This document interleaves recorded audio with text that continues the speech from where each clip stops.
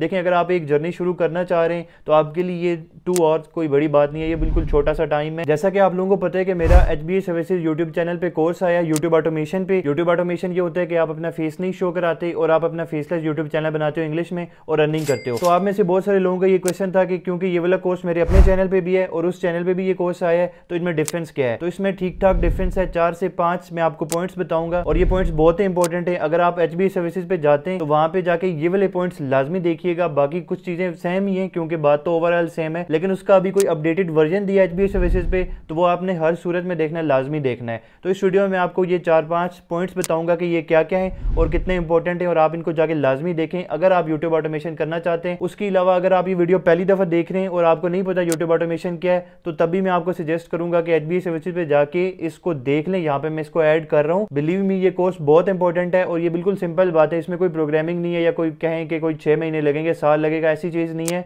हफ़्ते दस दिन, पंद्रह दिन के अंदर ये आप लोग भी सीख सकते हैं और यूट्यूब से आप लोग भी अर्निंग कर सकते हैं। तो आप लोगों से रिक्वेस्ट है कि उसको जाके देखें। अभी मैं आपको बताता हूँ कि उसमें डिफरेंस क्या है और कौन कौन से बहुत इंपॉर्टेंट बातें जो आपने बिल्कुल भी मिस नहीं करनी। अच्छा सबसे पहला पॉइंट ये कि नीच रिसर्च पे बहुत ज़्यादा डिटेल में बात की गई है। पहले ये था कि नीच रिसर्च पे बहुत ज़्यादा जो मेरा अपना कोर्स है, उसमें बहुत ज़्यादा इन डेप्थ हमने बात नहीं की थी, लेकिन इसमें नीच रिसर्च पे काफ़ी ज़्यादा डिटेल में चीज़ें बताई हैं छोटी छोटी ट्रिक्स बताई हैं, जो कि आज के दौर में वर्क कर रही है। वो वाला कोर्स में भी छः महीने पहले था, ये बिल्कुल अपडेटेड वर्जन है तो आप लोग इसको जाके नीच रिसर्च का एक जो पोर्शन है ये हर सूरत में आपने देखना है और इसमें से कोई भी पॉइंट आप, आपने मिस नहीं करना। अच्छा उसके अलावा जो दूसरा पॉइंट है वो टाइटल रिसर्च पे है। या देखें टाइटल रिसर्च बहुत इंपॉर्टेंट है बहुत ज़्यादा इंपॉर्टेंट है। जैसे मैंने पहले पहले बताया था पहले टाइटल रिसर्च को एक डिफरेंट वे में बताया था वो भी बातें मैंने इंक्लूड की हैं इसमें।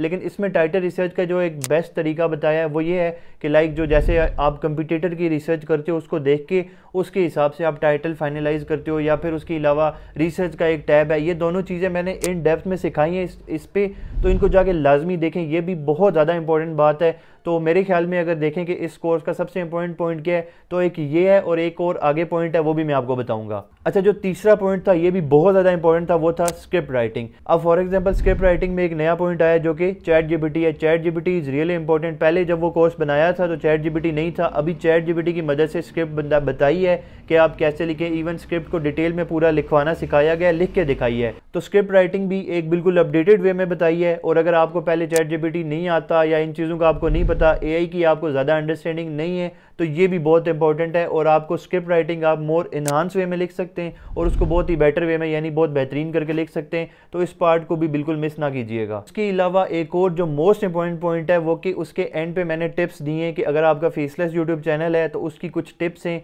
वो बहुत ज़्यादा इंपॉर्टेंट है, उनको मिस ना कीजिएगा। टिप्स में बहुत सारी चीज़ें लाइक के लेंथ क्या होनी चाहिए। बहरहाल अभी मैं उन सब पॉइंट्स को नहीं बताऊँगा क्योंकि ये फिर दोबारा से लंबी वीडियो हो जाएगी। मेरा मकसद ये था कि मैं आपको बताऊँ कि उसमें क्या क्या बहुत इंपॉर्टेंट बातें, उनको आपने मिस नहीं करना और वो एक ओवरव्यू दे दूँ कि पुराने कोर्स में और नए कोर्स में क्या क्या डिफरेंस है और आई होप कि आपको ये सारी बातें समझ आई होंगी। अच्छा एक और जो मोस्ट वाइडली आस्ट क्वेश्चन है, जो कि उस, उसके, उस अगर वीडियो में जाएँ और उसके कॉमेंट्स देखें तो आप सब लोगों ने पूछा हुआ है और वो ये है कि क्या ए ऑडियो मोनिटाइज होगी? तो देखिए, मैंने वहाँ पर ये बात बताई भी है, पहले भी बताया था, अगर आपकी ए ऑडियो ह्यूमन साउंडिंग है, यानी देखने वाले को ऐसे समझ नहीं आती कि ये एआई ह्यूमन है या किसी एआई ने स्पीक की है तो देन वो मोनेटाइज हो जाएगी, यानी यूट्यूब उसको ओके कर रहा है। आजकल कर रहा है मे बी कहीं फ्यूचर में जाके ना करे, लेकिन पीछे कभी कोई प्रॉब्लम नहीं हुई फ़िलहाल तक। ये बात मैं इसलिए कह रहा हूँ कि क्योंकि यूट्यूब की पॉलिसीज़ दिन ब दिन आपको पता है कि चेंज होती रहती हैं। पहले बिल्कुल जो ए जो ह्यूमन साउंडिंग नहीं भी था, वो भी मोनिटाइज होता था। अभी वो नहीं हो रहा।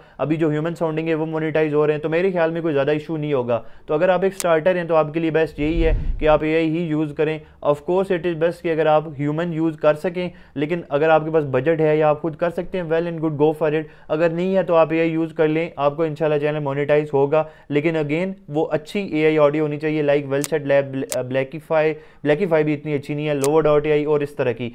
तो ये सारी बातें मैंने उसमें डिटेल में समझाई हैं। आप जाएँ उस कोर्स पर जाके उसको देखें।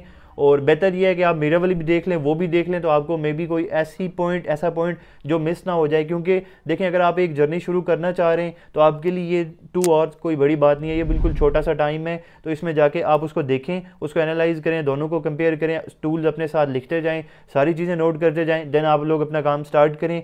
अगर कोई बात समझ नहीं आती तो मुझसे मैसेज करें क्वेश्चन करें, पूछें इन उस पर आपको समझाया जाएगा, और आई थिंक सो कि that is enough that is for today's video thank you